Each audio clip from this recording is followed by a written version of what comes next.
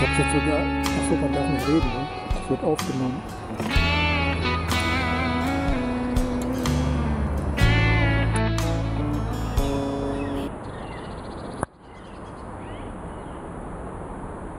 Im Hintergrund sieht man die Christuskirche.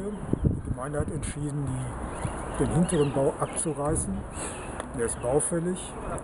An der Stelle sollen in den nächsten ein, zwei Jahren äußerst luxuriöse Wohnungen entstehen. Dagegen hat sich in der Gemeinde Widerstand geregt, der aber überstimmt wurde. Und die So, äh, der denkmalgeschützte Teil, der Turm wird also stehen bleiben, wird dort eine Andachtskapelle äh, entstehen, das äh, Kirchenschiff dahinter wird abgerissen und es werden äh, wahrscheinlich Wohnen, Gebäude und dergleichen gebaut werden und so wird also quasi das ganze Areal äh, weiterentwickelt.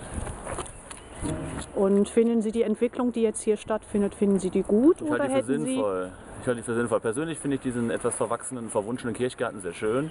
Äh, obgleich hier in einer der ersten Wohnlagen Kölns, in der innenstädtischen Wohnlagen, es im Grunde äh, richtig ist, die richtig zu nutzen.